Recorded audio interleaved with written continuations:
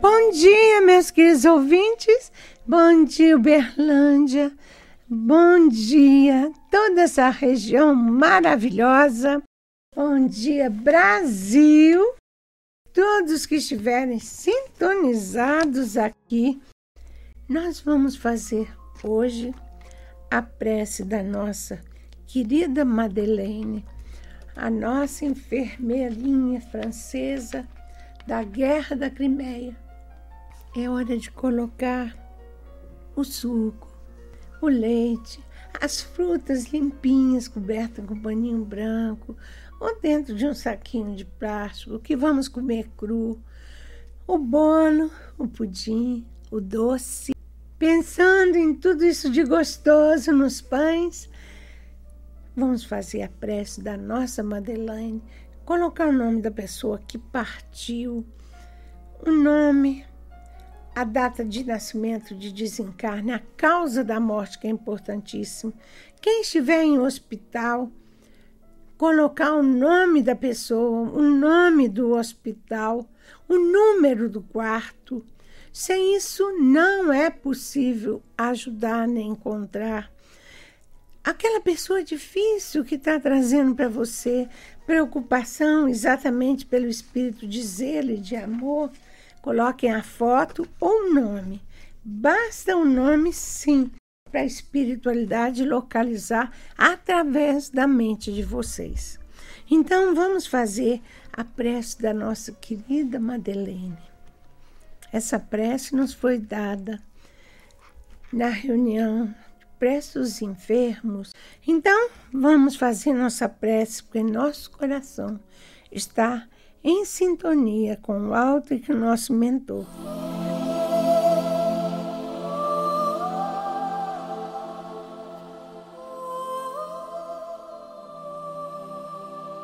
Rosa sublime de Deus, elevamos nosso apelo em favor de quantos sofrem.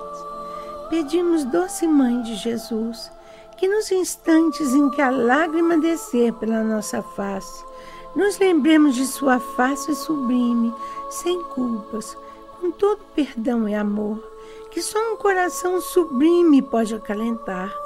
Doce Mãe de Jesus, quando a solidão nos envolve e sentimos o passo dolente, o barulho triste que só nossos ouvidos escutam, que possamos pensar nos passos leves do seu Filho Jesus, nas areias brancas, espraiando seu olhar até o horizonte, onde o céu se encontra com a terra. E ele, nosso mestre, nos ensinando a vagar com um barquinho tão frágil que é a vida, num oceano tão violento de provações.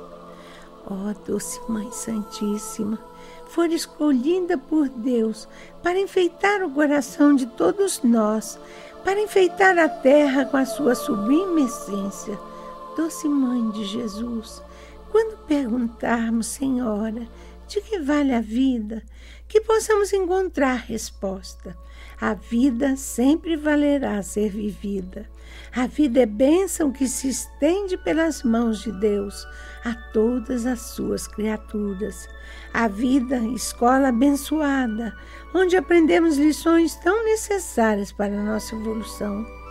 A vida, por mais que doa, é cura para a dor. Por mais que seja solitária, é a presença de Deus em todas as nossas células. A vida resplandece em tudo que envolve o orbe. A vida deve ser respeitada, conservada. A vida é manifestação maior de Deus. É chance que nos dá para exercitarmos o perdão no esquecimento da reencarnação. A vida é aquilo que faz com que o mundo seja a grande casa de Jesus, onde nos abrigamos e onde podemos buscar a salvação por meio da sua proteção e do seu amor. Que assim seja.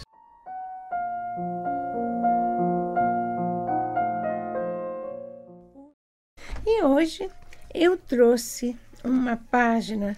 Eu vou ler do livro Tributo a um Amigo, Psicografia Minha, do Christoph Smith. Então eu vou ler essa página que chama Livremos-nos da indiferença, do nosso Christopher Smith. Vamos limpar nossa mente de tudo quanto seja negativo, estarmos com a alma limpa, pensar que domingo não vai ser aquele dia cheio de problema, cheio de dor, de susto, de aflição, preocupação com filho, com esposo. Vai ser um dia com Jesus. Vamos esperar que seja. A indiferença é a morte da ação em nossos corações. A criatura que se deixa envolver pela indiferença em determinadas situações, de tal forma vai sendo dominada pela inércia dos sentidos que se torna incapaz de qualquer reação. Hoje aceitamos, amanhã calamos, amanhã fingimos que não percebemos e vamos deixando-nos dominar por esse sentimento que corrói pouco a pouco a alma nas suas fibras mais sensíveis. A indiferença é realmente um grande impedimento para o avanço espiritual. Além de ser a criatura que é portadora dela, permanente instrumento das sombras, porque hoje deixa passar um momento precioso de servir, deixa passar amanhã um instante necessário para educar e cada dia vai se deixando envolver mais e mais por aquela indiferença criminosa. E de tal forma habitua-se a esse sentimento que passa a fazer parte da sua personalidade. Em todos os instantes se faz presente em suas ações.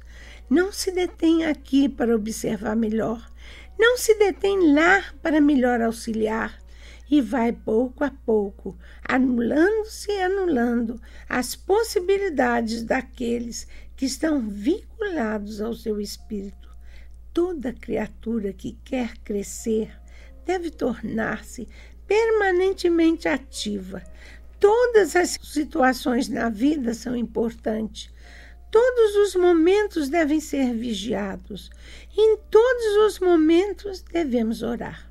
Se isso não fosse necessário, o próprio Cristo não nos diria: orai e vigiai a todos os momentos, porque não sabeis a hora nem o tempo.